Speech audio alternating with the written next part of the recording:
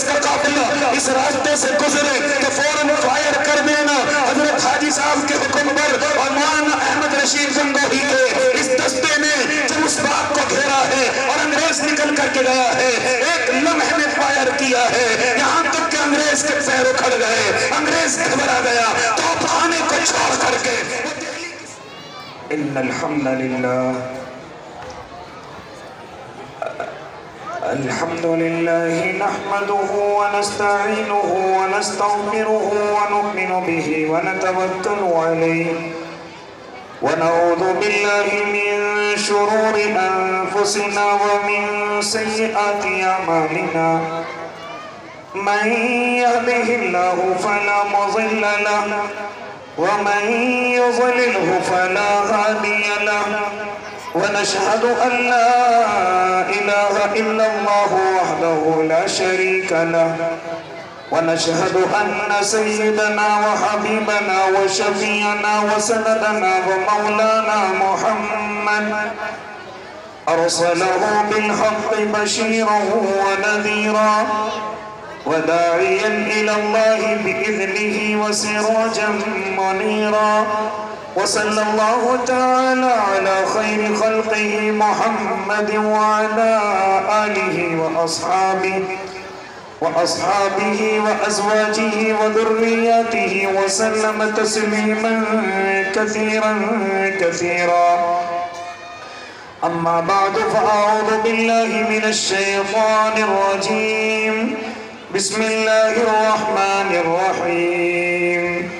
إنما يخشى الله من عباده العلماء. وقال النبي صلى الله عليه وسلم العلماء ورثة الأنبياء. صدق الله العظيم. وصدق رسوله النبي الكريم. ونحن على ذلك من الشاهدين والشاكرين. والحمد لله رب العالمين. کچھ کفر نے فتنے پھیلائے، کچھ ظلم نے شعلے بھڑکائے، کچھ کفر نے فتنے پھیلائے، کچھ ظلم نے شعلے بھڑکائے۔ سینوں میں عداوت جاگ اٹھی، انسان سے انسان ٹکرائے۔ پامال کیا، برباد کیا، کمزور کو طاقت والوں نے پامال کیا، برباد کیا، کمزور کو طاقت والوں نے۔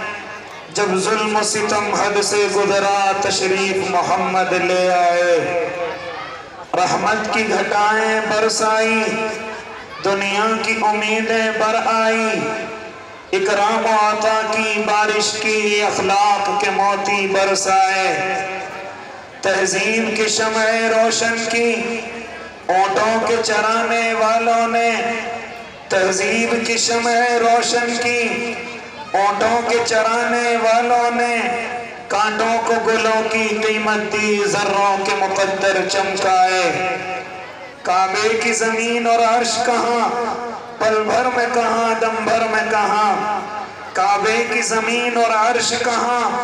پل بھر میں کہاں؟ دم بھر میں کہاں؟ پتھر کو عطا کی گویائی اور چاند کے ٹکڑے فرمائے۔ عورت کو حیا کی چادر دی، غیرت کا غازہ بھی بخشا۔ عورت کو حیا کی چادر دی، غیرت کا غازہ بھی بخشا۔ شیشوں میں نزاکت پیدا کی، کردار کے جوہر چمکائے۔ توحید کا دھارا رک نہ سکا، اسلام کا پرچم جھک نہ سکا۔ توحید کا پرچم جھک نہ سکا، اسلام کا دھارا رک نہ سکا۔ کفار بہت کچھ جھجلائے شیطان ہزاروں بل کھائے۔ اے نام محمد صلی اللہ، ماہر کے لیے تو سب کچھ ہے۔ اے نام محمد صلی اللہ، ماہر کے لیے تو سب کچھ ہے۔ ہوٹوں پہ تبسم بھی آیا، آنکھوں میں بھی آنسو بھر آئے۔ اللہم صلی علی سیدنا محمد وعلا آل سیدنا محمد وعلا آلہ وبارک وسلم. باوقار علماء کرام، میرے عزیز محترم، حضرت اقدس حضرت مولانا حسین احمد مدنی صاحب اور حضرت مولانا فیروز احمد صاحب قاری جان محمد صاحب اور بھی علماء کا جب غفیر، میرے بھائی، ہر سال کی طرح یہ علماء اپنی ذمہ داریوں کو پوری زندگی آپ کے سامنے نباتے رہتے ہیں، لیکن میرے اور آپ کے نظریے کیا ہیں؟ میرے اور آپ کے دلوں کے حال کیا ہیں؟ مجھے اور آپ کو اس چیز کی خبر لینی چاہیے کہ تمام کے تمام علماء میری اور آپ کی کڑوی کسیلی سن کر کے، میری اور آپ کی جلی کٹی سن کر کے پھر بھی اللہ کے دین کے لیے، میری اور آپ کی نسلوں کے لیے برابر محنت میں لگے ہوئے ہیں۔ حالانکہ اللہ نے ان کی تعریف میں قرآن کریم کے اندر جملے بارہا ارشاد فرمائے، کیا فرماتا ہے میرا اللہ؟ انما یخش اللہ من عبادہ العلماء، کہ مجھ سے سب سے زیادہ ڈرنے والے اگر اس زمین پر کوئی لوگ ہیں، تو وہ صرف اور صرف علماء ہیں، وہ صرف اور صرف علماء کی جماعت ہے اور پھر میرے آقا نے فرمایا کہ میری وراثت کے ذمہ دار کون ہیں؟ میری وراثت کے حقدار کون ہیں؟ وہ بھی علماء اکرام ہیں۔ وہ اللہ کے نیک بندوں، جب تمام کی تمام چیزیں میری اور آپ کی علماء سے جڑی ہوئی، شریعت کی چیزیں علماء سے جڑی ہوئی، یہاں تک کہ میں نے اپنے علماء سے سنا، روایت کے اندر آتا ہے کہ جس طرح علماء کی اس دنیا میں ضرورت، کل قیامت کے میدان میں علماء کی ضرورت، یہاں تک کہ میں اور آپ جنت میں چلے جائیں گے، تب بھی علماء کی ضرورت اور آج تک دنیا گواہ ہے۔ کہ جب عالم اسلام کو پریشانیوں نے گھیرا، مصیبتوں نے گھیرا، انبیاء کے بعد صحابہ صحابہ کے بعد تابعین، اور آج تک میری اور آپ کی پریشانیوں کو رو کر کے اور محنت کر کے اگر کوئی ختم کرانے والے ہیں تو یہ میرے اور آپ کے علماء ہیں۔ اگر وقت ہوتا تو تفصیلی گفتگو کرتا، کہیں اور جانے کی ضرورت نہیں۔ آؤ اپنے اس ملک ہندوستان پر، ذرا میں اور آپ غور کر لیں۔ آج میرے اور آپ کے سروں کی ٹوپیاں، آج میرے اور آپ کے چہروں کی داڑیاں آج اس طریقے سے آزادی کے ساتھ یہ پروگرام کرنا، یہ جلس جلوس کا اہتمام کرنا، جانتے وجہ کون ہے؟ وجہ میرے اور آپ کے علماء ہیں، ورنہ آج سے کچھ سالوں پہلے، یاد رکھو اللہ کے بندوں یہ ملک غلام ہو چکا تھا اور یہ ملک غلامی کی سنجیروں میں جکڑا جا چکا تھا۔ ہاں اس ملک کو بچانے والے اور ملک کو نہیں، بلکہ دین کو بھی بچانے والے اور خالی دین کو نہیں، بلکہ لوگوں کے ایمان اور مذہب کو بچانے والے۔ کوئی اور نہیں، یہی علماء کرام ہیں۔ اے اللہ کے بندو، اگر وقت ہوتا تو شاید میں گفتگو کو اور لمبا کرتا اور بتلا دیتا کہ علماء صرف مسندوں پر بیٹھ کر کتابیں پڑھانا نہیں جانتے یا قلم اٹھا کر کے کتابیں لکھنا نہیں جانتے، بلکہ اگر وقت آیا تو یہی اللہ کے نیک بندے اپنے سروں سے کفن بند کر کبھی شاملی کے میدان کے اندر ہیں، کبھی امبالہ کی سرزمین پر ہیں اور کبھی یہاں سے پیدل چلتے ہوئے افغانستان کی سرزمین سے کمک لینے پہنچے ہیں اور یہ علماء کرام ہیں کہ اس وقت کی جو انگریز کی طاقت ہے، اس کی آنکھوں میں آنکھیں ڈال کر بات کرنے والے کوئی اور نہیں، یہ علماء کرام ہیں آؤ تمہیں بتلاتا چلو، آپ نے ایک نام سنا ہوگا، حضرت مولانا رشید احمد گنگوہی، آپ نے ایک نام سنا ہوگا، حاجی امداد اللہ مہاجر مکی، آپ نے ایک نام سنا ہوگا، حافظ سامک شہید رحمت اللہ علیہ، کون ہے اللہ کے بندے؟ آ مختصر سی گفتگو کرتا چلو، کون ہے اللہ کے شیر؟ ہاں یہ اس وقت کی کہانی ہے کہ جب تھانہ بھون کو ہاں اسلامی حکومت کا نام دے دیا گیا تھا اور دار الخلافہ متعین کر دیا گیا تھا اور امیر المؤمنین کی پگڑی ہاں حضرت حاجی امداد اللہ کے سر پر سجا دی گئی تھی۔ مولانا قاسم نامات بھی اس کے سر خیل تھے۔ آؤ تمہیں بتلاتا چلو۔ کسی نے آ کر کے بتلایا، جب امیر المؤمنین ہمارے حضرت حاجی امداد اللہ بن گئے، تو کسی نے آ کر کے کہا کہ اس دہلی کے راستے سے جو سہارنپور سے دہلی کو راستہ جاتا ہے۔ انگریز اپنے توپ خانے کو لے کر اس راستے سے گزرنے والا ہے۔ تو مولانا رشید احمد گنگوہی کو خبر ملی ہے۔ ہاں سیدھے امیر المؤمنین کے پاس آئے ہیں اور آ کر کے کہتے ہیں ہاں امیر المؤمنین، مجھے اجازت دیجیے ہاں مجھے یہ نہ سمجھئے کہ میں صرف مسند پر بیٹھ کر کے حدیث کی کتابیں پڑھانا جانتا ہوں یہ صرف میں قلم چلانا جانتا ہوں یہ صرف دعائیں لینا اور دینا جانتا ہوں۔ مجھے اجازت دیجیے، چنانچہ حاجی صاحب اجازت دے دیتے ہیں۔ وان رشید احمد گنگوہی، اللہ ان کی قبر پر کروڑ رحمت نازل کر دینا، یہ اللہ کے نیک بندے ہاں گنگو سے نکلتے ہیں، سہرنپور کے راستے ایک باغ میں آ کر کے چھپ جاتے ہیں۔ صرف تیس یا چالیس آدمی ان کے ساتھ رہتے ہیں اور کہتے ہیں کہ جب انگریز کا قافلہ اس راستے سے گزرے تو فوراً فائر کر دینا۔ حضرت حاجی صاحب کے حکم پر اور مولانا احمد رشید گنگوہی کے اس دستے نے جب اس باغ کو گھیرا ہے اور انگریز نکل کر کے گیا ہے۔ ایک لمحے میں فائر کیا ہے۔ یہاں تک کہ انگریز کے پیر اکھڑ گئے۔ انگریز گھبرا گیا۔ تو پہانے کو چھوڑ کر کے وہ دہلی کی سرزمین پر پہنچا ہے۔ حضرت مولانا رشید احمد گنگوہی اس توپ خانے کو پکڑتے ہیں اور حضرت حاجی صاحب کے خانقاہ کے سامنے لا کر کے ڈال دیتے ہیں۔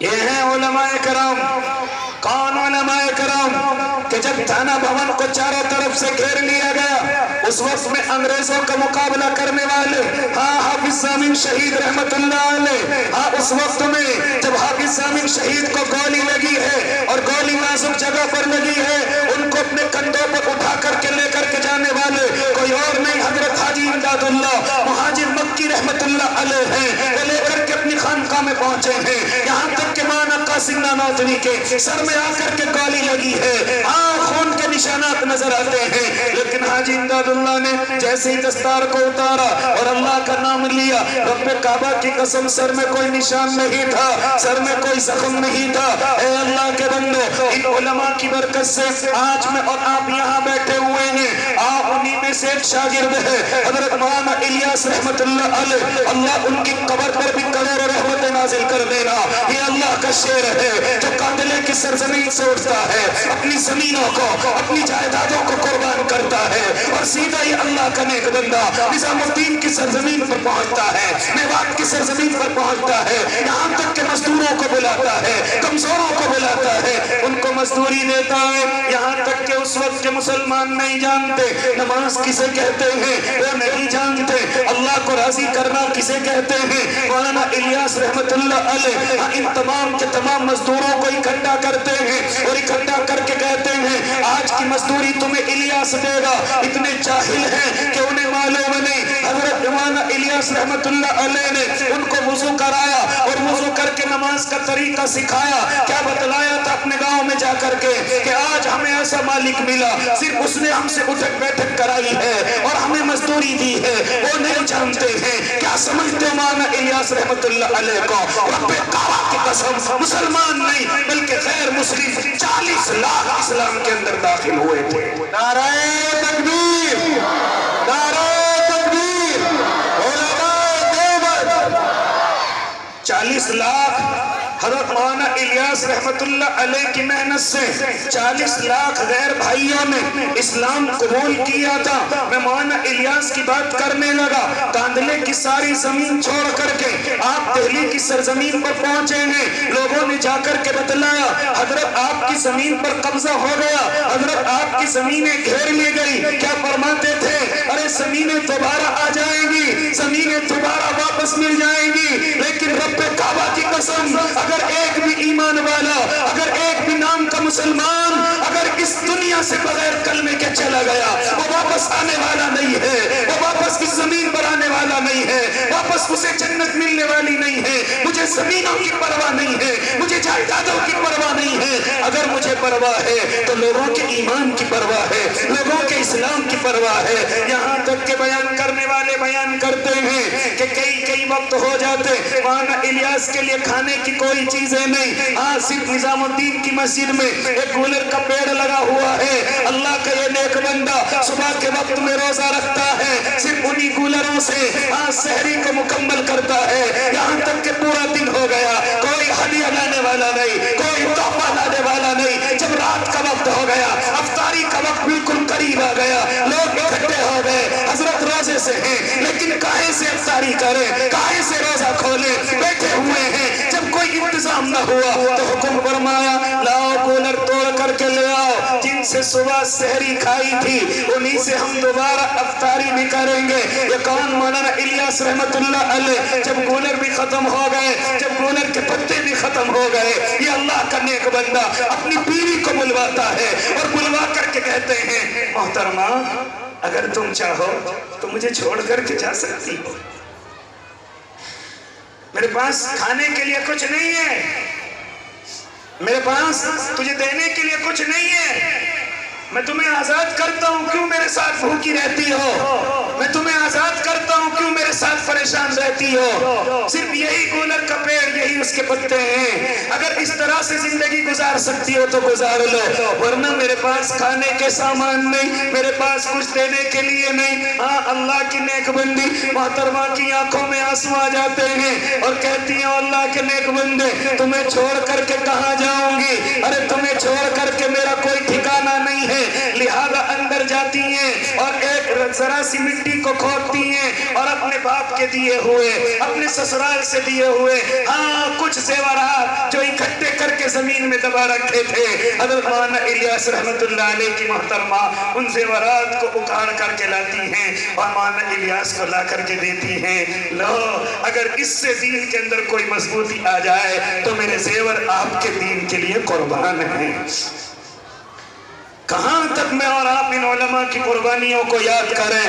اگر میں آپ سے کہوں، یہ میرے اور آپ کی سروں کی ٹوپیاں، یہ میرے اور آپ کی مسجدوں کی اذانیں یہ میرے اور آپ کی مسجدوں کی میناریں جانتے ہو کن کن لوگوں کی برکت ہے؟ یہ صرف علماء کرام کی برکت ہے۔ اور یاد رکھنا لوگوں، یہ تمام کے تمام علماء ایک ہیں۔ چاہے وہ دارلوم کا رہنے والا ہو، چاہے نظام الدین کا رہنے والا ہو چاہے خانقاہ رائے پور کا رہنے والا ہو یہ تمام کے تمام علماء ایک ہیں خبردار اگر کسی نے انہیں الگ کرنے کی کوشش کی یاد رکھنا دارلوم بھی لوگوں کو دین سکھا رہا ہے، دعوت بھی لوگوں کے گھروں تک دین پہنچا رہی ہے، اور خانقاہوں سے لوگوں کے دلوں کو صاف کیا جا رہا ہے۔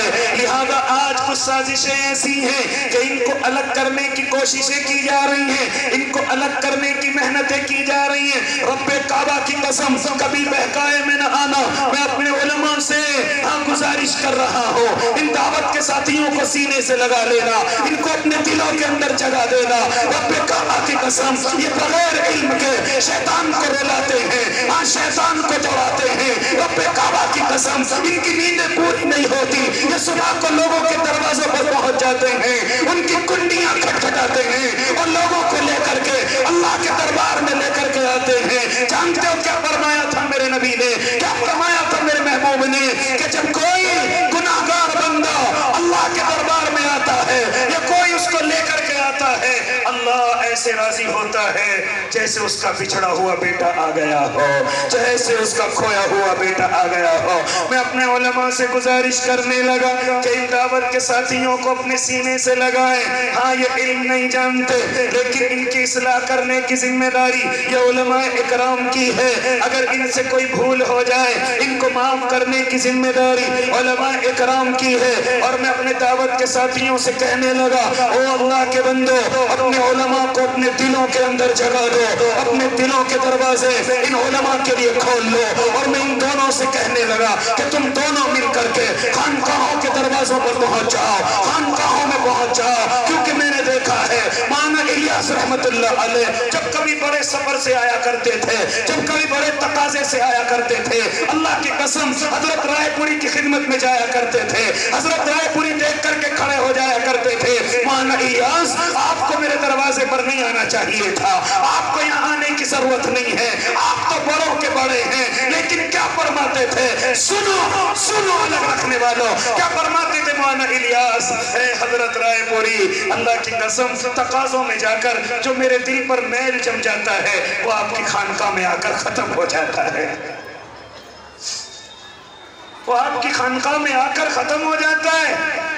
آج میں اور آپ ان کو الگ الگ کرنے لگے ہیں آج میں اور آپ ان کو الگ الگ سمجھنے لگے ہیں۔ اس لیے آج سے میرے بھائی ارادے کرو کہ انشاءاللہ میں اور آپ الگ نہ ہوں گے۔ میں علماء کی قدر کروں گا، میں دعوت کے ساتھیوں کی قدر کروں گا، میں خانقاہ کے بزرگوں کی قدر کروں گا۔ میں اپنے اور اور خانقاہ کے ساتھیوں میں، اور دعوت کے ساتھیوں میں انشاءاللہ دیوار کو آنے نہیں دوں گا۔ یہ میرے بھائی ہیں۔ علماء ان سے دعا کے لیے کہیں گے، اور دعوت کے ساتھی علماء سے دعا کے لیے کہیں گے۔ اور یہ دونوں کے دونوں مل کر کے ہم تاکہ بزرگوں کے پاس جا کر اللہ کی رضا حاصل کریں گے۔ یاد رکھنا، ابھی پریشانی کا دور گیا نہیں، ابھی مصیبتوں کا دور گیا نہیں۔ اگر میری اور آپ کی صفوں میں اسی طرح سے اختلاف رہا، تو دشمن ایک نہ ایک دن کامیاب ہو جائے گا۔ اور میں آرام، پھر دوبارہ غلام بن سکتے ہیں۔ دوبارہ ظلم و جبر کی چکیوں میں جا سکتے ہیں۔ اس لیے میرے بھائی کتنی بھی بڑی پریشانی آ جائے، رب کعبہ کی قسم پوری دنیا دھوکہ دے دے۔ لیکن یہ علماء دوبارہ سر سے کفن باندھ کر کے آئیں گے۔ دوبارہ میدانوں میں آئیں گے۔ دوبارہ شافی کے میدانوں میں آئیں گے۔ دوبارہ امبالہ کی سرزمین پر آئیں گے۔ کیونکہ یہ انہی کے جلالے ہیں۔ کیونکہ یہ انہی نسبتی بیٹے ہیں، انہی کے روحانی بیٹے ہیں اور دشمن سن لے کان کھول کر کے تو بات کرتا ہے ہاں پادری بندر کہہ کر کے گیا تھا، ہزاروں علماء نہیں، لاکھوں علماء نہیں ہاں اگر اس زمین پر صرف ایک بھی نیک عالم زندہ ہے، انگریز اپنی سازش میں کامیاب نہیں ہو سکتا۔ یہ وہ کہہ کر کے گیا تھا، یہ وہ کہہ کر کے پہنچا تھا۔ اس لیے میرے بھائی، اب دوبارہ اگر کوئی پریشانی آئے گی تو اپنے علماء کی طرف سے مایوس نہ ہونا۔ خدا کی قسم، یہ دوبارہ سر سے کفن باندھ کر بیٹھے ہوئے ہیں۔ یہ دوبارہ ان طاقتوں سے مقابلہ کرنے کے لیے بیٹھے ہوئے ہیں۔ اگر بات میدانوں کی آئے گی تو شاملی میں بھی پہنچیں گے، امبالے میں پہنچیں گے۔ اور اسی طریقے سے اگر اگر آہستہ سے اور نرمی سے محنت کرنے کی بات آئے گی تو انشاءاللہ کئی مولانا الیاس نکلیں گے اور کئی کئی لاکھ لوگ انشاءاللہ ایک وقت میں اسلام کے اندر داخل ہوں گے۔ انشاءاللہ ہم اپنے علماء سے محبت کریں گے نا بھائی؟ اپنے علماء کی اطاعت کریں گے، اپنے علماء کا ادب کریں گے۔ تین چیزیں۔ اگر آپ فائدہ اٹھانا چاہتے ہیں اپنے علماء سے، ایک تو پہلا یہ ان سے محبت کرے کریں گے نا انشاءاللہ؟ دوسرا یہ کہ ان کا ادب کرے کریں گے نا انشاءاللہ؟ اور تیسرا یہ کہ ان کی اطاعت کرے کریں گے نا انشاءاللہ؟ جس نے یہ تین چیزیں حاصل کر لی انشاءاللہ وہ علماء سے کچھ نہ کچھ لے لے گا۔ اور یہ علماء نبی کے وارث ہیں۔ میں زیادہ بڑی بات آپ کے سامنے نہیں کرتا، صرف اتنی بات کرتا ہوں۔ یہ علماء نبی کے وارث ہیں۔ میں بھی آپ کا تعاون دیکھ رہا تھا۔ سب جس کے جو یاد آ رہا تھا دے رہا تھا۔ لیکن ایک ذات کو سب بھولے ہوئے تھے۔ اور وہ تھے میرے اور آپ کے آقا محمد عربی صلی اللہ علیہ وسلم۔ جتنے بھی بیٹھے ہوئے ہیں، اللہ کے نبی کے نام سے ایک سو کا نوٹ اس پلے میں لا کر کے ڈال دے۔ میں آپ کے یہاں سے رخصت ہو جاؤں گا۔ جتنے بھی بیٹھے ہوئے ہیں، کوئی بھی ایسا نہ بچے۔